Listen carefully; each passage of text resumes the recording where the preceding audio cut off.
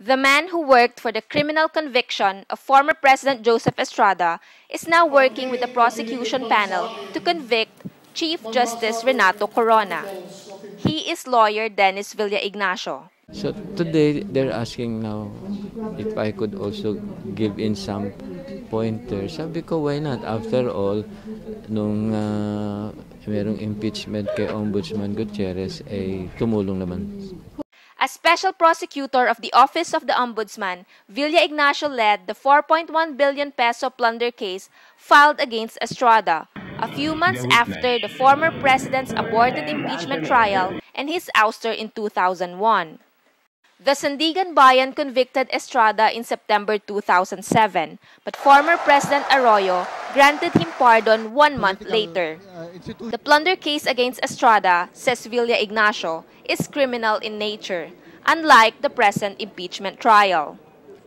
Ang depensa, ano naman yan, i-expect mo na pahihirapang mabuti ang prosecution. I would know because I've been there.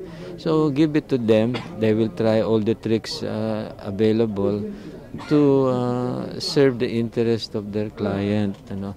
Pero hindi totoong proof beyond reasonable doubt. The prosecution panel, which has received flack for appearing unprepared, welcomes his addition to the team. He has a very good litigation practice. No, he's very valuable. Uh, he volunteered his services to help in uh, prosecuting this case. He would be giving advice. But there's one sticky problem. There are concerns about how Villa Ignacio's being part of the prosecution team will sit with Senator Juror Jinggoy Estrada, the son of the former president he helped convict.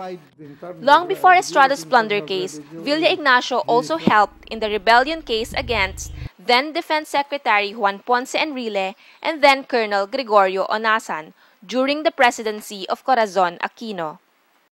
So far, Villa Ignacio has been silently helping the prosecution.